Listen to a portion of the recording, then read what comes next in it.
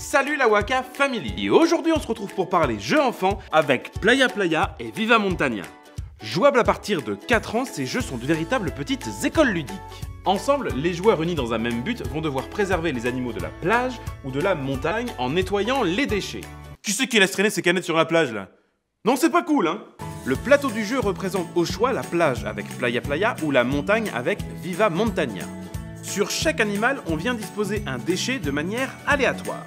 Une fois la mise en place effectuée, nous allons lancer le dé chacun notre tour. Si celui-ci nous indique un animal, il faudra soulever l'un des déchets. Si le bon animal s'y trouve, on met le déchet à la poubelle. Sinon, on remet le déchet où il était et il faudra mémoriser l'animal qui se trouve en dessous. Euh, crabe. Par contre, si le dé nous indique la mer pour Playa Playa, alors elle monte d'un niveau et si elle englobe un déchet, la partie est perdue. Mais on peut aussi tomber sur la face poubelle qui permet d'enlever n'importe quel déchet.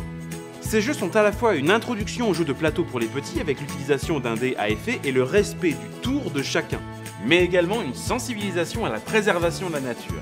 Et au tri sélectif dans un deuxième niveau de jeu où il faudra apprendre à séparer nos déchets dans les bonnes poubelles. Jouable de 2 à 6 joueurs pour des parties de 20 minutes, Playa Playa et Viva Montagna sont des jeux pour enfants des 4 ans de mémoire coopératif ayant pour sujet l'écologie. Et voilà, c'est tout pour moi. Continuez de partager ensemble des moments ludiques. Bye